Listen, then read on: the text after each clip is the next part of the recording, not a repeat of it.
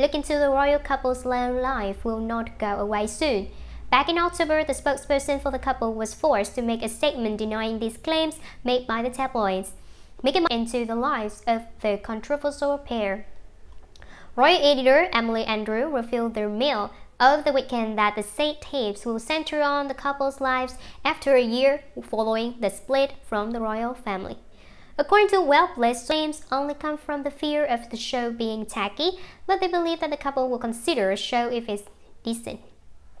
Both Harry and Meghan are in hot waters regarding their deal with Netflix due to The Crown. The latest season of Netflix original show was recorded by them personally while working with the couple uh, both in UK and in the US.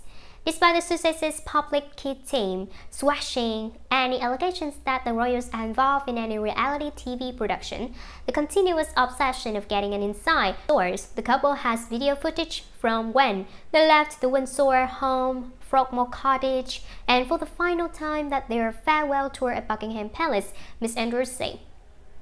Furthermore, the Sussex couple's representatives are also pitching in videos. Markle and Prince Harry have since been compared to reality TV's Golden Family. The Kardashians' speculations of the family's TV show ending sooner than intended was to make room for the Sussex's new reality TV show.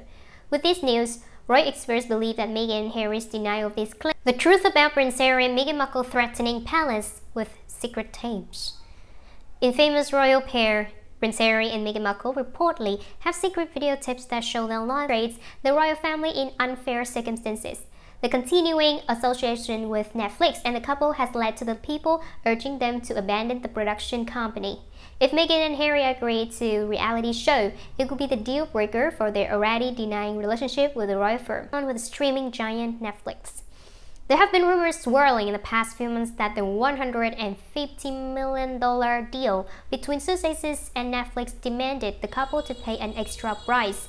Allegedly, Netflix is asking for an exclusive look within the worlds of Kensington Palace and Frogmore Cottage. The couple is said to be planning to run these tapes for a Netflix documentary. Reports by news.com.org suggest that the Duke and Duchess of Sussex have green-lighted a documentary project that they are working on